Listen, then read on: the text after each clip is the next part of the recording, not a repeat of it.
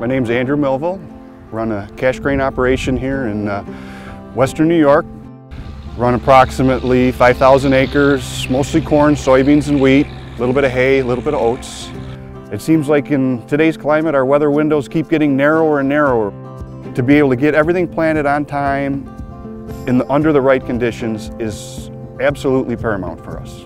I try to think of myself as a very progressive farmer. I'm always looking for new technologies that will improve my productivity and therefore improve my bottom line. The first thing when you look at it, just the streamline way that the, the whole thing is set up.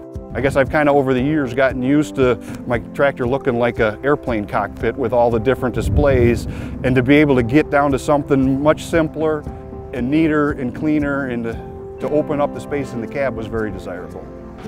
Obviously it does everything I want in this planting operation in one nice, neat, clean package. It runs the, the ISO component of the drill flawlessly and runs the steering flawlessly for me. Myself and the other employee who runs it have been very happy with the performance of it. It seems simpler than some of the systems that we've run in the past and it's performed flawlessly for us so far.